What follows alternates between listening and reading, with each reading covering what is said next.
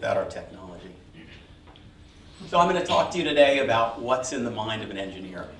Um, I'm not an engineer. I work with a lot of scientists and engineers, and I've talked to them over the years to try to figure out what they're thinking when they design. And it's my hope that by combining some of what I've learned with some very traditional and very interesting, powerful theories in philosophy, namely in the philosophy of mind, we can come up with something that I'm going to call a new ethic of design. Now, you might ask yourself, uh, why do you need a new ethic? What was wrong with the old one? Right?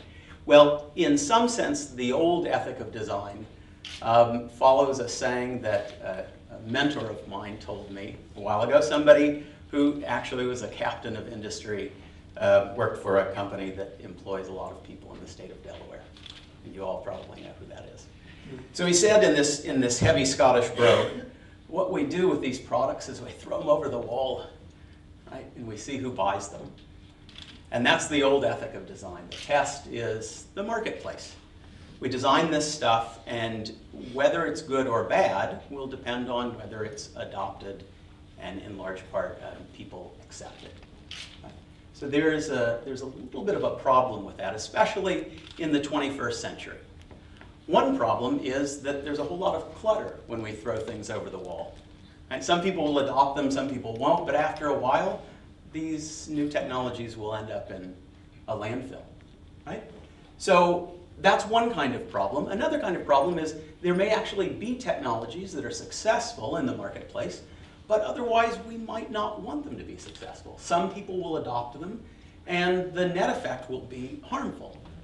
So what I'm going to offer you today, I hope, is a new way of thinking about these objects prior to their entering the marketplace, prior to them being implemented and adopted. So this is at least a, a start on a, a, new ethic for design. And I, am completely convinced that we need it. Think about some of the proposals for um, solving climate change, seeding the oceans to take care of ocean acidification or blasting small mirrors up into the upper atmosphere. So those are some technologies. Um, might get us out of a very, very difficult situation. Might be, on the other hand, disastrous. So how do we think about these wide-ranging technologies that could be um, both good in some respects, but also horribly bad? So here's a, here's a model to begin with. Um, we have almost incontrovertible evidence that engineers are also human beings. um, and so if we're trying to think about what's in an engineer's mind, why don't we just start out with, well, what's in any human being's mind? When looking at this uh, picture uh, this morning, I realized that that looks a lot like me, except I don't have a coffee. so what is it about uh, human minds in general? Well, uh, human minds have mental states. You have them. Trust me, if you didn't have them, you wouldn't have gotten here today. You have beliefs, you have desires, and you have um, a very special case of a mental state um, that sometimes we call intentions, but for the purpose of this talk today, I just want you to think of them as plans. And the reason is that I'm going to reserve this term intention for something slightly broader. So what is interesting about mental states? Well, they are intentional in a quite specific sense in which philosophers especially in the 20th century, decided they were special. Namely, they have a direction. They are about something else. Think about a belief. So a belief is some stuff in your mind that is about some state of affairs in the world. You may have a belief about the weather right now. And if you believed that it was, you know, somewhere between 70 and 80 degrees outside, you'd probably be right. And if you believed, on the other hand, that it was snowing, you'd probably be wrong. So there's this very simple relationship between a belief and its content, the thing it's about. The same thing is true in a um, slightly weirder way about fears. You don't have fears full stop. You have fears that are directed or are about something else. You have a fear of spiders. If you have fears generally, that's not a good thing. It's good to have fears with content. Maybe not too many fears. Now think about plans. Plans are intentional, but they don't point at something that's real yet. Right? They point at something that you want to make real. that you intend to do. So all in all, these mental states have this direction, and that's a very powerful tool for thinking about what an agent, somebody who acts, what an agent has in mind prior to acting. So here's something psychologically interesting about these intentional states. Uh, almost every human being generates these intentional states just by contemplating what he or she is going to do tomorrow or what the weather is like or what the most pressing fear is right now. And let's, uh, for the time being, call these states entities. If they stay inside the mind, they're just a mental state, of belief, a desire, a plan, a fear, whatever it happens to be. And then notice that many of us, on many occasions, externalize those mental states. We take those things that are directed at or about the world, and we produce things like sentences in a language. And sometimes we produce them just by vocalizing, and sometimes we write them up on fancy forms of technology. But the interesting thing about those mental states that are intentional is that they've now come outside of our body. They now have a separate existence, um, even though we generated them. They're ours, but we've given them to the rest of the world. So, beyond being psychologically interesting, intentionality is also legally and ethically interesting.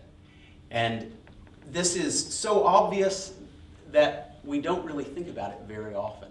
But when we hear explanations of why people act in the way that they do, we assume that they act on the basis of those prior intentional states.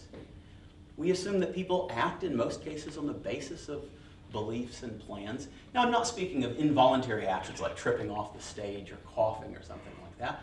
I'm talking about those actions for which people are typically praised and blamed. In a legal context, sometimes you can get in trouble for having the wrong intentional states prior to your action. Let me give you a simple example here.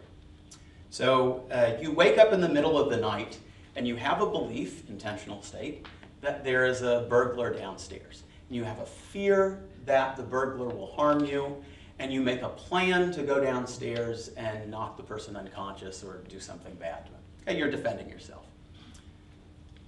Maybe you're going to have to explain yourself in the court of law. And you say, look, I had no criminal intent. I believed that there was a person trying to hurt me. I had a desire and a plan to make this stop. And so I'm really sorry that that just happened to be my neighbor. Tell the story in another way. You woke up in the middle of the night, you believed it was your neighbor, you feared your neighbor, and you had plans to do him in, all the while under the guise of knocking a burglar in the back of the head. So there you go before the court of law and you divulge honestly as you would, divulge exactly what your intentional states were. And now you're in a little more hot water. So it seems, in both cases, the consequence was the same, but it seems that the mental states you had will determine in large part whether we praise or blame you, or whether you spend some time um, behind bars. So engineers are, um, remember, human beings, and when they act, what they do is externalize, make external objects out of the plans that they had. They don't design accidentally or as a fit or uh, as a result of coughing. They put things into the world that they've thought about. They have plans and desires and beliefs and maybe even sometimes fears. And they design objects based on those things. Well, look, just as the person who knocked the burglar or the neighbor in the back of the head acted on the basis of those intentional states, so does the engineer design on the basis of those intentional states. So what does that tell us? We can evaluate designs prior to their entering the marketplace based on the intentional states of the engineer. So that makes um, intentionality, I'm sorry for the word, engineeringly interesting. I had to come up with a good adjective, right? It's engineeringly interesting um, because it seems that every technological artifact is, is as a matter of fact, a combination of the intentionality of this designer, the engineer, and the user, if they're two different people. Um, it seems that these technological artifacts can be unethical by design or by use or by a combination. If you want an example of that, I'll just throw out here the perfect torture machine. A technology that was designed with nothing but evil in mind. Now, you can have all kinds of other combinations of unethical by design and unethical by use, but just contemplate that example for a second. So what really happens when we use a technology, when we end users pick it up and adopt it, is that we're in part borrowing the intentionality of the designer and we're adding ours to it. We create these kinds of super agents, you plus the designer or the engineer. And sometimes those designs facilitate certain things that we can do and sometimes they constrain us. Um, there are very simple examples of this and you're sitting in one right now. Um, most of us uh, bend at the hips and bend at the knees. And as a result of that, some very, very shrewd designer designed this room with these chairs. And, and you're all facing me and you're pointed in this direction. However, if the designer had put these chairs in instead, um, some of you might be facing the back, some of you might be facing out towards the wall. You're constrained. Your action right now, you're sitting comfortably, is facilitated by the design, but it's also constrained at the same time. So there are ways in which we are different. Um, yes, most of us bend at the knees and bend at the hips, although you know, as I get older, I do less uh, well with both of those things. Some of us actually um, roll in order to get from point A to point B instead of walk. And if you roll to get from point A to point B, you will find that a 30 degree angle getting up onto a sidewalk is much easier than a 90 degree angle for the wheels by which you move. A very simple difference that makes a huge difference in someone's life if, in fact, he or she rolls to get from point A to point B instead of walks. So buildings are made accessible by these designs. Sidewalks are made accessible. All of social life is facilitated by the simple 30 degree ramp. There are some designs which we might question whether in fact they're environmentally friendly. Uh, does anybody know what that is? Well, it's a camshaft and a lobe, but just for the purposes of this illustration, it's a camshaft that's going to open up an intake valve on an internal combustion engine. And there's some measurements, just two of them, that are really interesting in this case. One is the height, or the distance from the middle to the nose, and one is the distance between the two ramps on the camshaft lobe. That will determine how much fuel is let in to the internal combustion engine and for how long it's let in. If you want a really fast car, you might have to pump a lot of fuel in there. But notice whether this is environmentally friendly doesn't depend merely on the engine or on the driver, but it depends on what kinds of resources we have available. If we don't have a lot of fossil fuel to run those things, you might choose one design over another. If you're polluting while you're running one of these things, you might choose one design rather than another. So I'm going to end today with some puzzles. And the reason that I do this is that um, if, if you're a professional philosopher like I am, and you don't end with puzzles, they take your uh, professional philosopher's card away. So it's, uh, it's um, part of the, um, the, uh, the guild, as, as it were. So here's one kind of puzzle. I've been talking about designs and technologies that are extended uh, in space and that uh, we encounter when we sit down or when we put on a pair of glasses or when we um, start an internal combustion engine. What about a design that's not extended? What about the design of the internet? It's designed. The way it's designed facilitates some action and constrains us in other ways. One of my favorite uh, cartoons about this, there's a, a dog sitting at a computer. Looks like he's uh, engaged in some sort of chat in an internet chat room. And the owner is looking over the dog's shoulder. And the dog says to the owner, on the internet, no one knows you're a dog. right? A feature that we call anonymity something that we tend to like, or that some of us tend to like, and that some of us then get in trouble about later on when they send pictures of oneself over the internet. What's the other punchline of the cartoon? Well, it's not said, but on the internet, internet, no one knows you're not a dog. There's anonymity on one hand, and there is the difficulty in authenticating, proving that you are who you are. It would be very nice if we could prove in many internet commercial transactions that indeed we are who we are. We're the holder of that MasterCard. But the way the internet is designed, we have a premium, or we've placed a premium on anonymity, and authentication, asserting validly that I am who I am, is less of an important function. So here's another mystery about the new ethic of design. Suppose that, um, like wildfire, my philosophical ideas spread through the engineering community. Why not? Um, that may not be enough, because engineers typically work for companies, and while they may be sitting back thinking, okay, what are my plans? How does that jibe with my responsibility towards those people who will then utilize my technologies? The company may just say, throw it over the wall, put it in the marketplace. We'll see if it sinks or if it swims. So it's not just enough to change the minds of engineers, you have to change companies. And typically companies don't have minds. They're these strange things, a constellation of minds, but not one mind. So that's a difficult problem. Finally, I want to leave you with a puzzle that I think about a lot because uh, one of the areas in which I do research is the ethics of robotics. So right now we have um, standard computer-aided design software that more or less works out the physics and the mathematics for us if we're designing something. What if we, in the future, in the very near future, create the intelligent computer-aided design that designs as well as does the physics and math?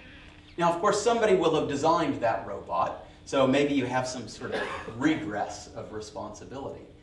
But now we're not talking about just doing science and math. We would be allowing a machine to make design decisions. And if I'm right that we need a new ethic for design, we would have to somehow implement in that machine an ethical ability to choose good design from bad design.